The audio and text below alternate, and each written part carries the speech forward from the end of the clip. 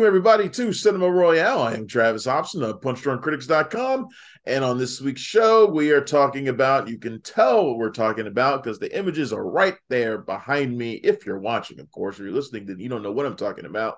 Uh, Infinity Pool and Knock at the Cabins. We're doing two horror movies this week, although they're both, I would say, more along the lines of thrillers than, than real horrors. But there are horror aspects to both films for sure. Uh, Infinity Pool is the latest film from Brandon Cronenberg. This is his third film after Antiviral, which was almost a decade ago, and Possessor, which was a couple of years ago. Um, and Knock at the Cabin is the latest from M. Night Shyamalan, uh, his first since uh, Old a couple of years ago, which I also liked. I, I think Shyamalan's been on a bit of a roll personally. Uh, Servant is also a really good show on Apple. I've liked. And uh yeah, I think he's been doing good stuff. Although I feel like Shyamalan will always be like saddled with, you know, this is the best film he's done in 20 years. Like he says he's done nothing. Uh and oh, yeah. like he's done nothing since the sixth sense. earlier about and still in my mind it's it's everything that he did like in the mid 2000s right right but i think people like because he and for those who don't know that is our basically our horror writer. My buddy Ronny Sharpes is is uh, joining me on this week's show. Seemed appropriate to have him for this. He was went with me to see Knock at the Cabin, and then we both went to see Infinity Pool. My second time seeing Infinity Pool. Um, so I wanted to bring him on for this. But uh, but yeah, it's like when it comes to Shyamalan, it's like you know he he did he started off so hot that when he fell into that terrible ditch, you know, like bad movies like no one has ever let him forget it. Like like like he's it's like no matter what he's done since like the happening, like people act like nothing else came after that. right.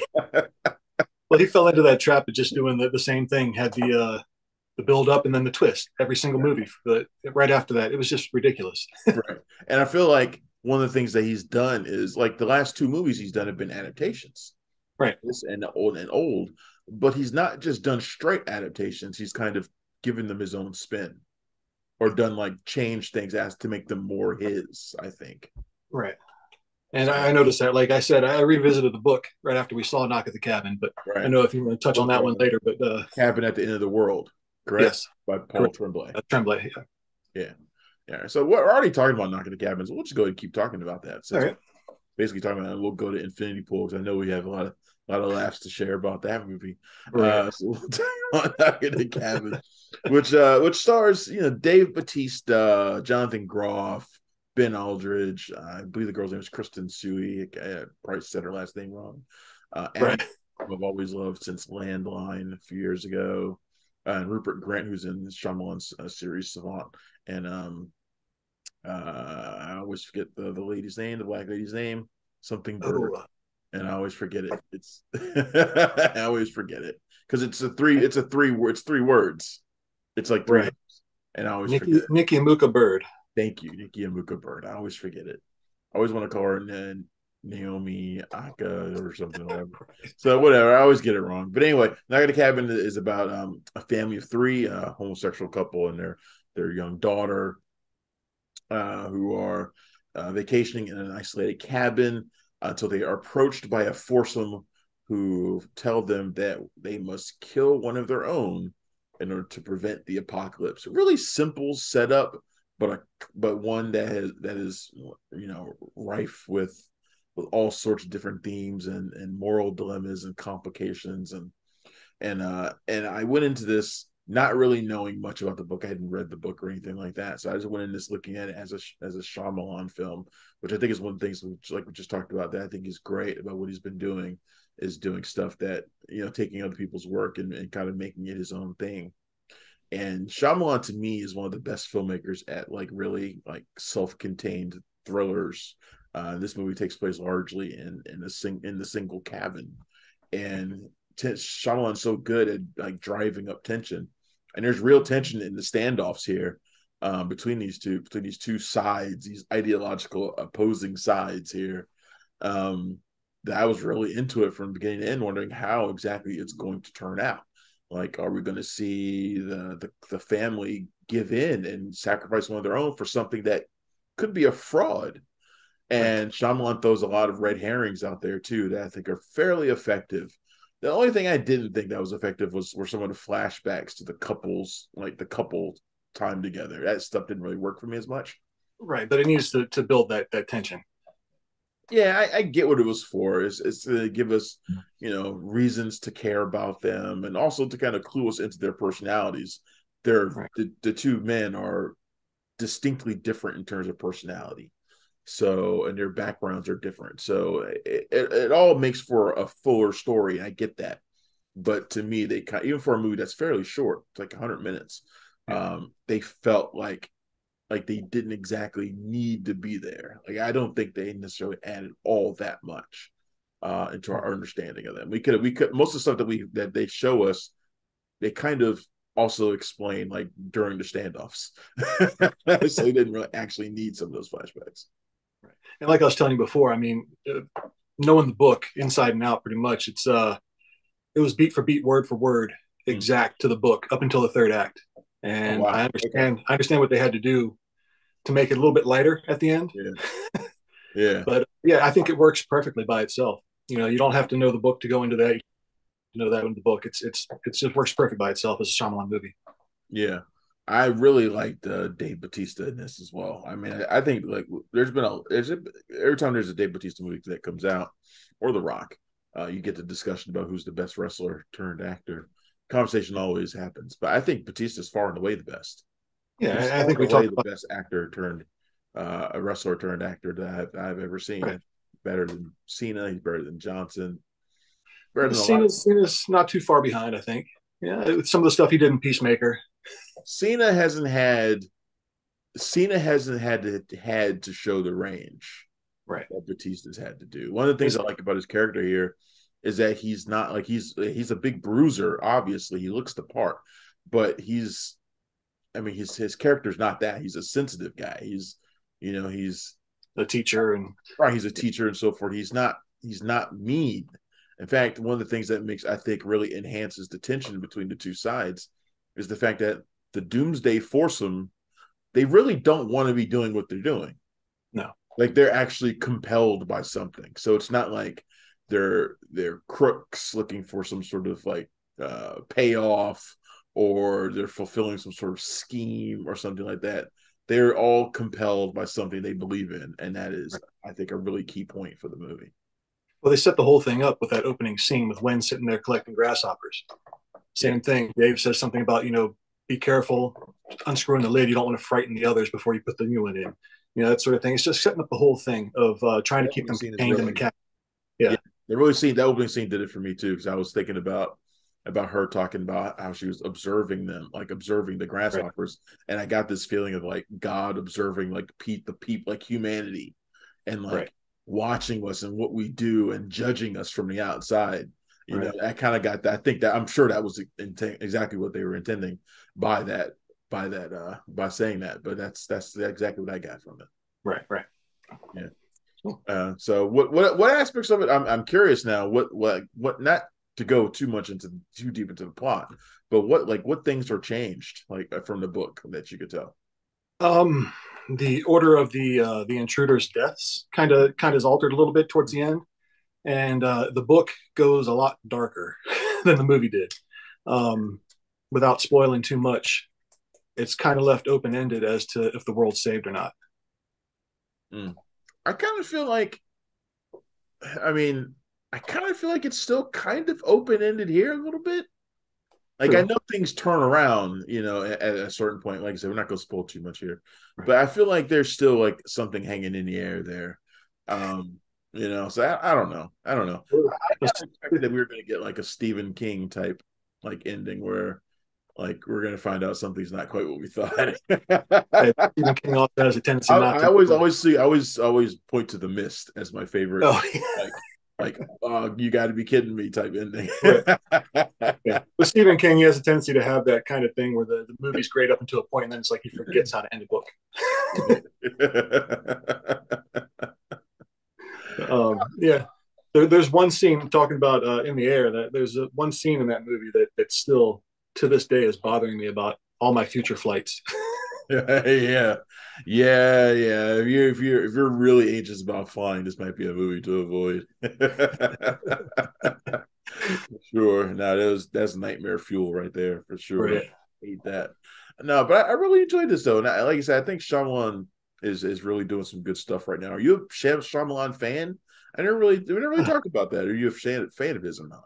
Uh, like Sixth Sense stuff like that when it first came out. Uh, when he hit the happening and beyond that, I kind of fell away, stopped watching because it was the same thing over and over and over.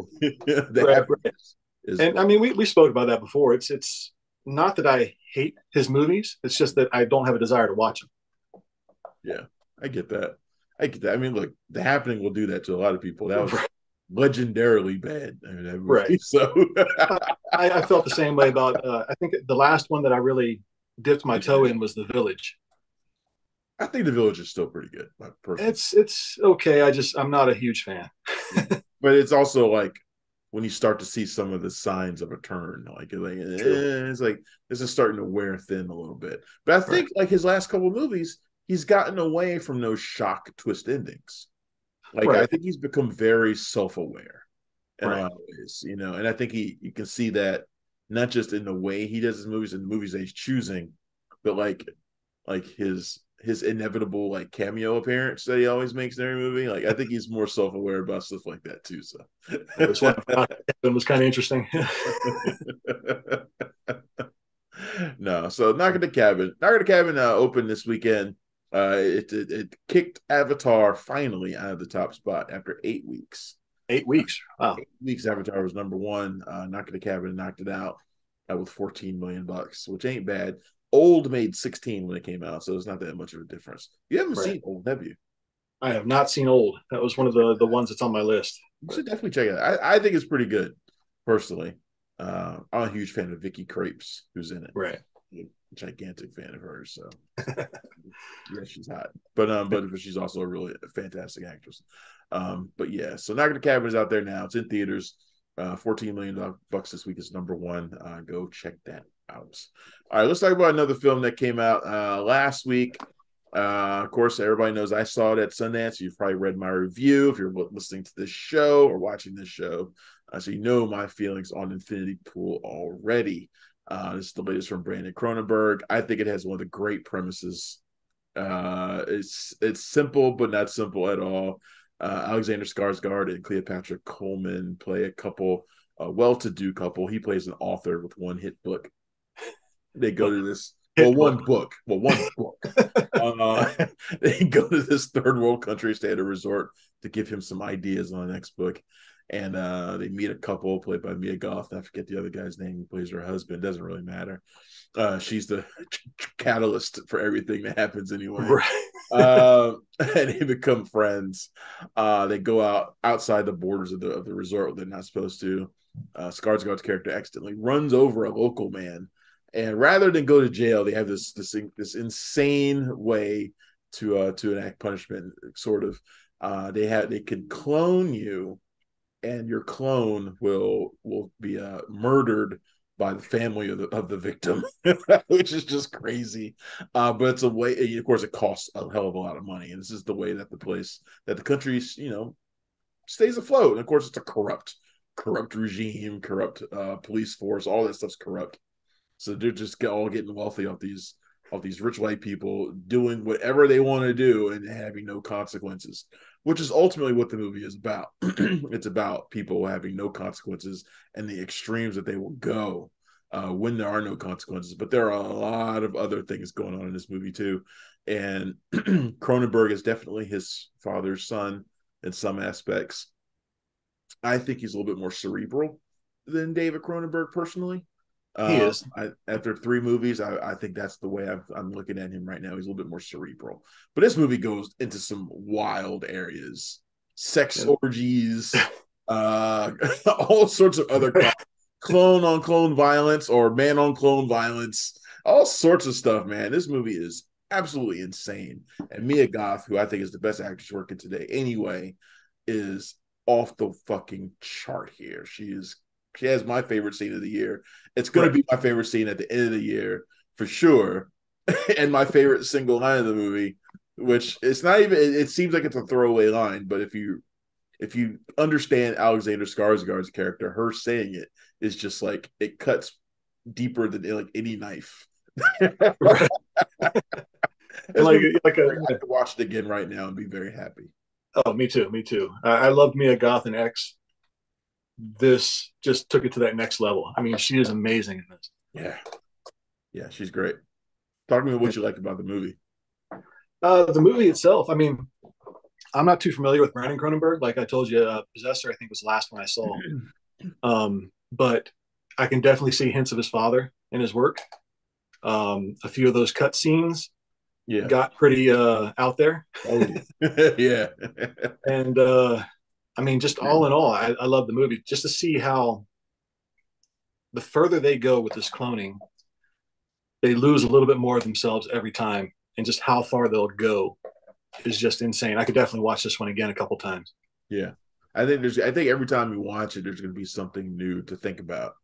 Right. There's a scene where there's um like a uh, a feral version of Skarsgård's character that we see, and I was yeah. and this time I was watching the last time I was watching it with, with you and uh and our other friend, um I was watching and I was like, well I wonder like, is that a clone who never had a personality imprinted on him, or is he one who has he's undergone the cloning so so many times that he's just now he's just feral. He's just this is like this is all that comes out of it now. Like he's just that's it. Well, it could also be so many things that it could be. Well, in part, it could be that the drug that they imbibe in. You know, there's yeah. uh it's one of those things that you could see Skarsgård's original, well, yeah. what you think is his original character, getting further and further along with the uh getting into the the feral mode as he as he smokes more and more of this stuff. Yeah, yeah. I mean, this movie. I mean, Jesus Christ, this movie is the best humiliation scene ever. It's uh, it's just it's hard to look at Skarsgård the same. I, like exactly. we're talking with with the Northman, he's a completely different person. This one, it's just it's sad. You have to look away. Yeah, it's so it's so painful to see this this physical physical guy, this guy who although at the beginning of the movie he doesn't really have a lot of confidence, but no. but but that's part of the, that's part of the whole deal because you know, he gains that confidence like throughout the movie. You know, he kind of gains it, but it's it's he gains it through like false pretenses. yeah, he gains the confidence just for them to pull the rug out from under him. It's it's a beautiful scene. That scene on the car. Oh my god. Oh man, Infinity Pool. It's just this movie is such a blast, man. I how much I, is it? How much has it done uh, in the in the box office so far? I mean, it doesn't uh, seem like it'd be a hot No, I don't. I it didn't. It didn't rank. Really? Oh wait, no. It, well, it, it was in the top ten last week. Okay. It was in the top ten last week. Let me, let me take that back because I forgot it's been it came out last week, not this week. But it, it was in the top ten last week which I you know I think at the time when I did my did the box office, I was like, yeah, all the Cronenberg fans who are super excited for this movie because honestly, this year it's the movie that I've been asked about the most. Right. The entire time I was at Sundance, it was the movie that people kept asking me, had I seen it yet? Had I seen it yet? And you know, tell us about it when you go after you've seen it. So it's the most movie. It's the movie I've been talked about, uh, asked about the most. So I knew that there was, and, and horror is not generally my bag. So I don't surround myself with a bunch of people who love horror for the most part. but people were excited for this. What and are the? Uh, I knew uh, that there was going to be a lot of people that went to see it in the opening weekend, and they did. And then no one else went to see it, though, which is what you know I kind of knew was going to happen. Is there a huge difference between the uh, the one that we saw and the NC-17 version? No, the versions I the version that I saw at Sundance was NC-17. This is the R cut although they're apparently going to release the NC-17 cut at some point. There wasn't a huge difference that I could see other than a couple of scenes. Uh, if you really want to see Skarsgård's junk, uh, the NC-17 version is the, is right. like the girl at the Alamo who was super excited to know that right. was in the in the uncut version. but even even the R version was a pretty hard R. So yeah, it doesn't change much. A lot of the shots are the same. Uh, I think there may be one other scene that was mildly altered um, which you know, kind of a sex psychedelic orgy sort of thing going on. I think some shots in there were taken out, uh, maybe or shot or shown a little bit differently, but right. otherwise, it's almost it's almost the same. He didn't change much. Yeah, there's a there's a, portion that I had to look away just because of the uh, this disorienting effect of how he flashes through that sex orgy scene. Yeah, for those who don't know, it gives you a warning before the movie about the strobing effects and what they can do. So that warning was there at Sundance too. So, uh, so yeah, uh, and I, I can see why. I actually kind of like closed my eyes and like blinked really heavy during that during a couple. Of, oh, yeah, I can see why. if I was athletic, I probably wouldn't come in here. right. At points, it's hard to tell what you're looking at half the time. So I know, I know, but man, this movie is so much fun. I, I can't wait until until they put out the NC-17 because I'm going to go back into a theater and watch it again. That's what I'm going to do. That's like uh, what was that last one we did that for the extended cut for Midsommar. Yes, yes, and that was your first time seeing Midsommar was the extended cut, which is by far the superior cut. Yeah. Well, no, actually, I think that was my second time because I did see it. Uh, I think I saw the critic screening of it. If I'm not mistaken. It, it's everything kind of blurs together after a while. The first time you saw it, because I remember we talked about it. The first time you saw it was that cut, and I told you you need to go back and, or yeah. it's like this cut. This oh, I didn't know at the time, but this which version was going to be better. Right. But, um, but yeah, the extended cut that we saw is definitely better. I did see it before that. I actually took my son to go see it because I remember I missed like the first 10 to 15 minutes of it. I missed yeah. a pivotal scene in the first yeah. 10 to 15 minutes because I arrived late. Yeah. yeah. But yeah, uh, that extended cut, I remember that those, I've seen it like 10 times since then. It's one of those, uh, those ones that makes my cut every year in October. That's great. It's a great movie. Uh, and, and Infinity Pool is going to be on that list for me of movies that definitely revisit every now and then when I need a Mia Goth fix. go they got she's got uh they're working on Maxine now, aren't they? Yep. Yep. So uh, I don't think it has a date yet or anything, no, but yeah, I'm excited for that too.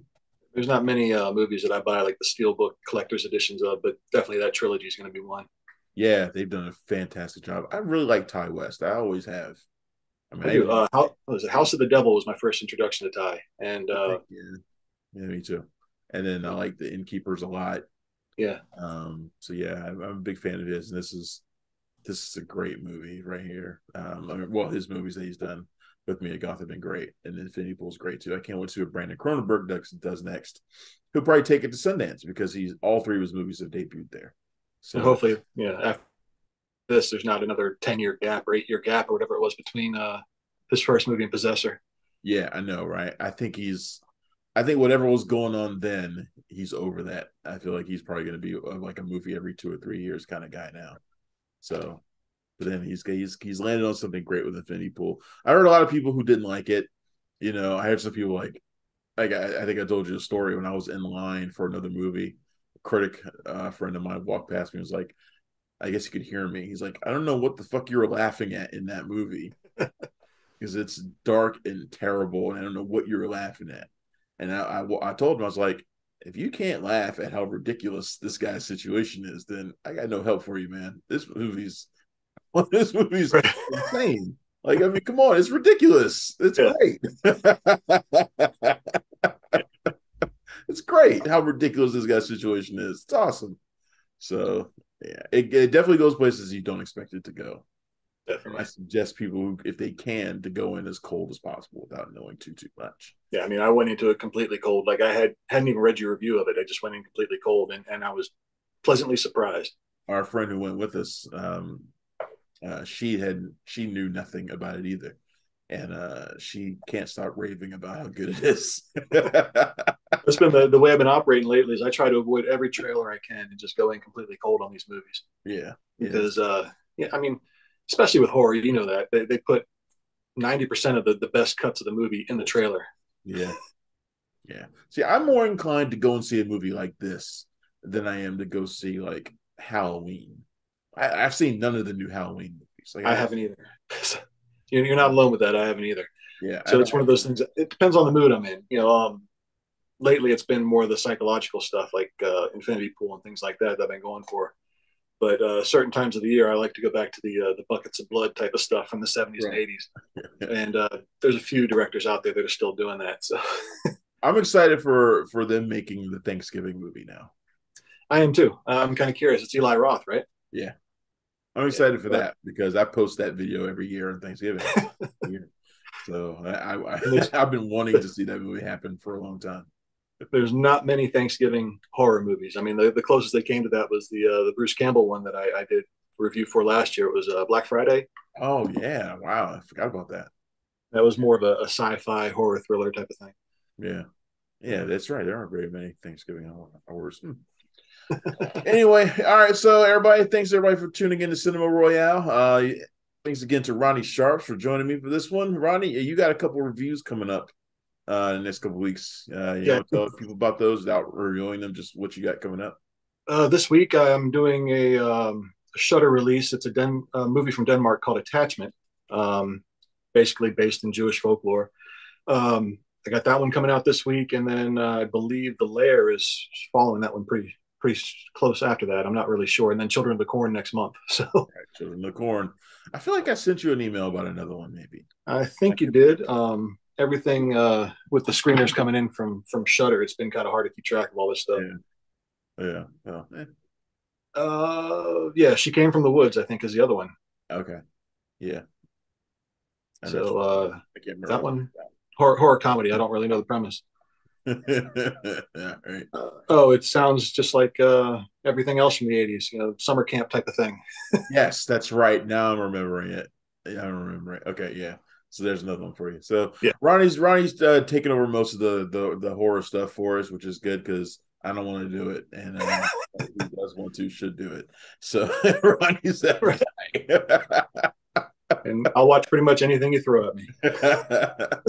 well, thanks, Ronny, for co- tuning in, uh, for coming on uh, Cinema Royale, and thanks to all of you for, for tuning in to Cinema Royale. I'm Travis Hopson at PunchdrunkCritics.com. You can find me there every single day. and You can find me in loads of other places here in DC. You don't. I'm not going to go down the list. Thanks, everybody. I will see you next week.